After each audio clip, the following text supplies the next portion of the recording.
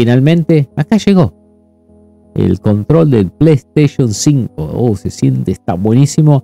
Vamos a hacer una caja abierta y vamos a compararlo con el PlayStation 4 Control.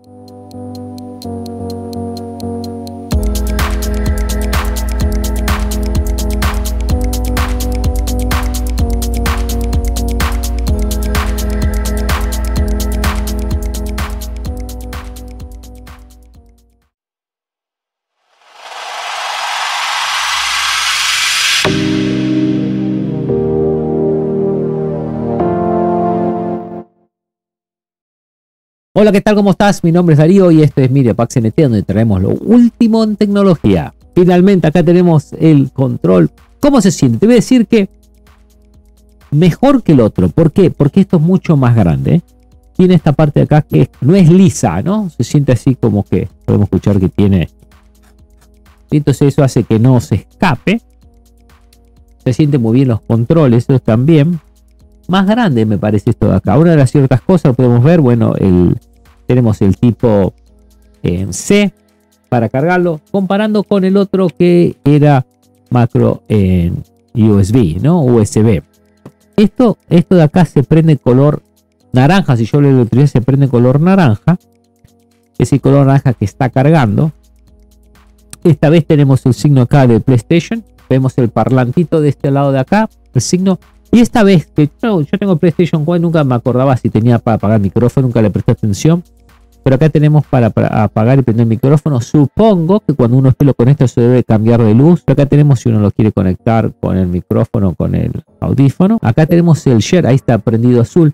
¿Saben que por qué está prendido color azul? Una prueba que hice, eh, lo hice, eh, lo sincronicé con el teléfono y el Android lo detecta. Si se dan cuenta, miren, vamos a ejecutar una aplicación, ¿sí? Tendría que agarrar y, olvidar y hacer olvidar de esto. Pero él anda, lo detecta. Sincronización, como se hace, van a apretar el símbolo de PlayStation y esto que tiene unos simbolitos, está no tiene nada escrito. Van a apretar los dos y automáticamente se va a hacer en PER. Empieza a titilar y se hace PER. Y acá tenemos que es el menú de configuración. Si comparamos entre los dos, si quieren ver la diferencia, acá podemos ver la diferencia, mucho más grande. El estilo sigue teniendo la misma forma, pero mucho más grande.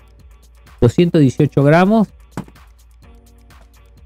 284. Estamos hablando casi 50 gramos de diferencia.